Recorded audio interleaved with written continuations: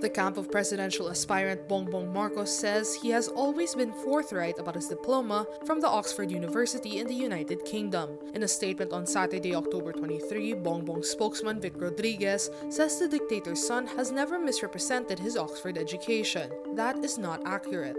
Rappler archived Bongbong's profile on the Senate website in 2015. At the time, Bongbong claimed he had a Bachelor of Arts degree in Political Science, Philosophy, and Economics. This was for a two-part investigative series that resulted in a confirmation that what Bongbong obtained was not a degree but a special diploma in Social Studies. In a statement Friday, October 22, the Oxford Philippine Society says a special diploma and a degree are not the same.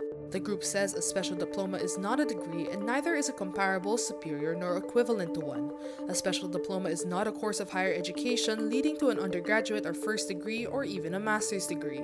Marcos Jr.'s camp say they stand by the degree confirmation which was issued by the University of Oxford. Rodriguez adds, it is up to anyone to question or challenge this with the said university if they so please. Rodriguez even shows a certificate that says Bongbong got a special diploma in social studies after studying there from 1975 to 1978. Rodriguez has not responded to Rappler's question whether Bongbong's initial claims of a BA degree in 2015 up to 2016 were not misrepresentations.